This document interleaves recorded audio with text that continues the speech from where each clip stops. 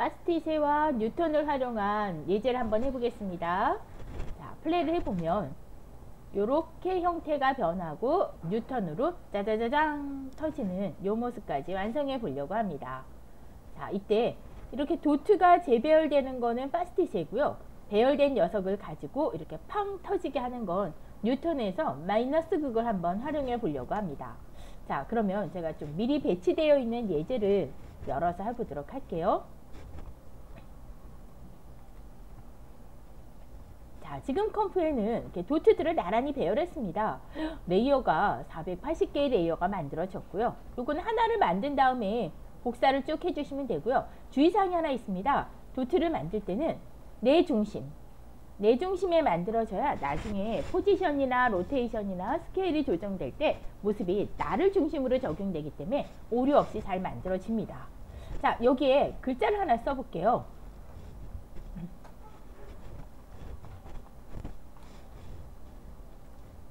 자, 글자를 하나 써서 배열을 하고요. 글자의 색상은 어떤 색상이 되든 아무 상관이 없습니다. 자, 왜냐면 이 글자에 영역만 인식을 해주는 거기 때문에 주의사항이 하나 있죠. 글자를 그냥 글자 layer만 안 됩니다. 얘는 compose가 되어야 합니다. 그래서 글자 layer를 마우스 오른쪽 버튼 pre-compose 오케이 compose 만든 걸 열었고요. 어, 얘를 조금 뒤로 미룰게요. 한 10프레임 정도에서 모습이 나타날 수 있도록 어, 한 12프레임 뭐 괜찮습니다. 자, comp로 되돌아왔습니다. 자, 여기에 이제 Pastiche의 plugin을 적용해 볼게요. effect, Motion Boutique, Pastiche. 어, 20프레임까지는 현재 layer를 marker를 하나 지정해서 어떤 모습으로 transform을 할 거냐면요. 포지션과 스케일의 키를 만들겠습니다. from use previous value, 즉 자신이 구성되어 있는 그 값을 그대로 쓰겠다라는 얘기예요. use previous value. 자, 그 다음에 이번에 한 50프레임쯤 갔을 때 50프레임 여기에다가 현재 layer에 marker 하나 찍고요. number pad에 asterisk 별을 눌러주면 marker입니다. 그리고 여기에서는 뭐로 될 거냐면 organic 그리고 무엇으로 스케일은 from neighborhood 이렇게로 조절을 했습니다. 자, 이 두 녀석의 애니메이션을 주고자 하는데 자, 적당한 시간대로 100프레임에서 work area를 종료할게요. 키보드에서 N 눌러주면 됩니다. N 자, 그 다음에요. 어, 현재 우리는 애니메이션을 주고자 하는데 무엇을 기준으로 만들 거냐면 from layer marker layer의 marker를 만들었으니까요. layer marker 선택하고요. create라고 해주면 뭔가 만들어졌습니다. 자, 현재 위에 레이어 눈을 꺼주면 밑에 배치들이 됐죠. 자, 프리버스 기억하고 있다가 컬러로 변했네요. 어, 그런데 뭐 이 모습도 나쁘진 않지만 그냥 쓱 변하니까 좀 심심한 것 같아요. 그래서 랜덤하게 배치해 볼까요? 옵션에 layer order를 랜덤하게 자 이때 새로 계산될 거는 이전 키가 버려져야 되겠습니다. remove existing key 크레이트 할게요.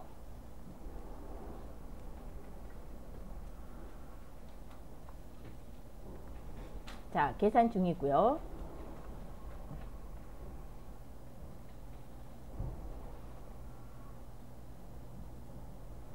계산이 좀 오래 걸리네요.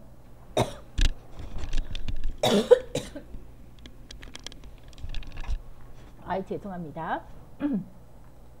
플레이를 해보면 요렇게 만들어졌습니다.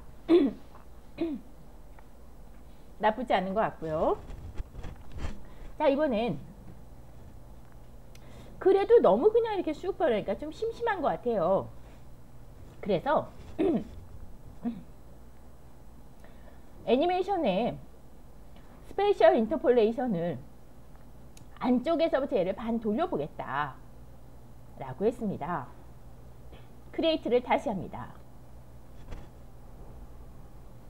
갑자기 목에 사리가 걸렸네요. 음.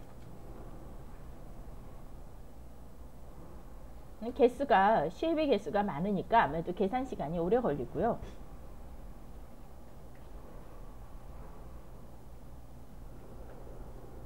자, 계산이 됐습니다. 플레이를 해볼게요. 자, 얘가 이렇게 바깥쪽 안쪽에서 슉 돌고 있다라는 게 느껴지죠? 자, 이번에는요. offset 시간을 좀 밀어보도록 할게요. 한 20프레임을 offset 시킬 건데 뭘 할 거냐면 distance from image center, 이미지 센터로부터 거리값을 떨어뜨리겠다. 자, create를 해주면 여러분은 작업하면서 다른 옵셋 값을 주거나 옵셋의 시간 차이를 좀 다르게 하거나 어, 그런 걸 해주면 다른 느낌을 구해줄 수 있겠죠.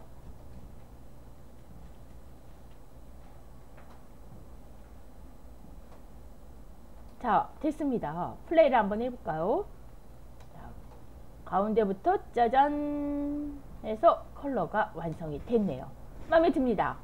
자, 요걸 가지고 이제 뉴턴으로 응용해 보도록 하겠습니다. 자, 현재 완성된 comp 2를 컨트롤 D 해서 하나를 복사하겠습니다. comp 2를 열어서 작업을 하고자 하는데요. 위에 그 컨트롤 하는 건 버리고요. 내가 지금 원하는 모양이 지금 요 모양, 즉 변화가 없는 keyframe 마지막 그 끝부분에 가서 모든 레이어를 선택하시고 자 스케일과 P 눌러서 포지션을 다 열은 다음에요.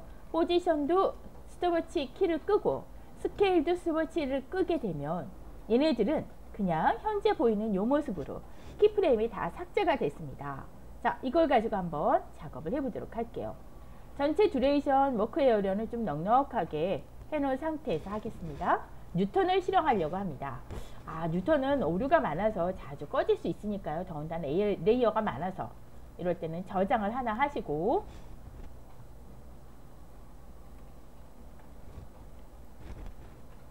자 다시 이제 뉴턴을 실행해 볼게요. composition 뉴턴 2 자, 이렇게 만들어졌습니다. 뉴턴은 중력이니까 플레이를 해보면 밑으로 뚝 떨어집니다. 자, 중력을 0을 주게 되면 플레이를 했을 때 아무런 변화가 없습니다. 우리는 얘네들은 마이너스 극을 하려고 그래요. advanced tab에 가서 어, magnetism type을 어, repulsion이라고 하는 걸 해보겠습니다. 자, 여기입니다. 모두 선택을 하고 advanced magne-, magnetism type 플레이 해볼게요. 왕 너무 빠르네요. 그러면 옵션 값을 조금 수정해 볼까요? 자, 이가 강도입니다. magne-, magnet intensity를 한 2로 줄여보죠. 자, 플레이를 해보면 그래도 좀 빠르죠. 조금 더 줄여볼까요? 0.5 플레이 해보면 아, 요런 모습이네요. 좀 더 줄여보겠습니다. 0.1 아, 그리고 주변의 영향권도 한 50으로 좀 줄여볼까요? magnet distance입니다. 어, 요런 형태인데 짠 하는 느낌이 없어요. 조금 아쉽네요. 그럼 다시 50으로 줄였으니까 얘는 0.5로 강도는 올렸어요. 아, 요런 모습이에요. 나쁘지 않네요. 자, 다시 한번 플레이.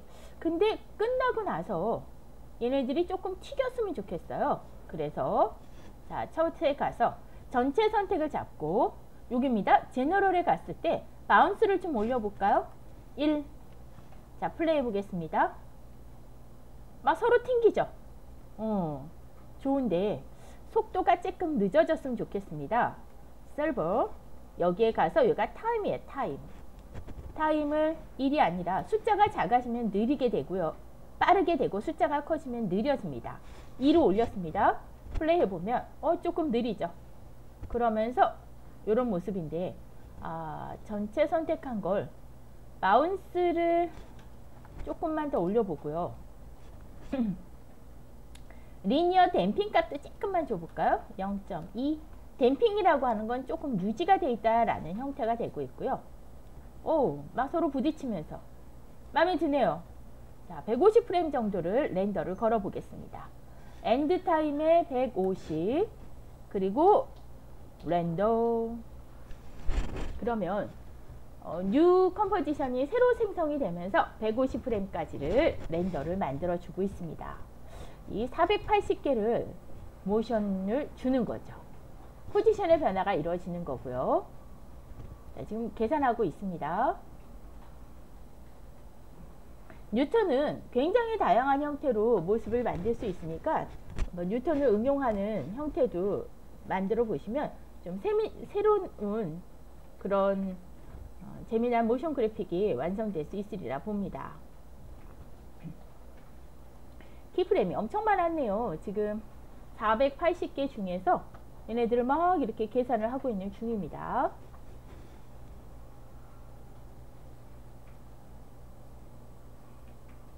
백프레임만 할 걸 그랬나 보네요.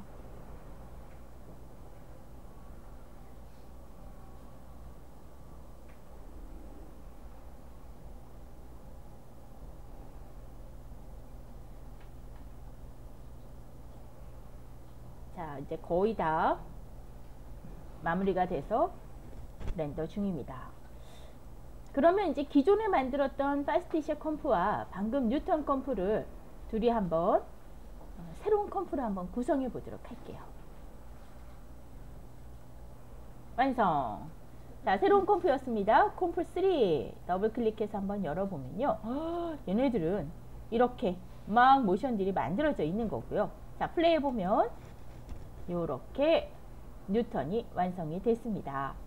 자, 완성된 거 150프레임까지로 Work Area를 정리해 볼게요. 자, 지금 Work Area입니다. 이 상태에서 Work Area Bar 위에서 마우스 오른쪽 버튼 Trim Comp to Work Area 하게 되면 Comp가 나눠집니다.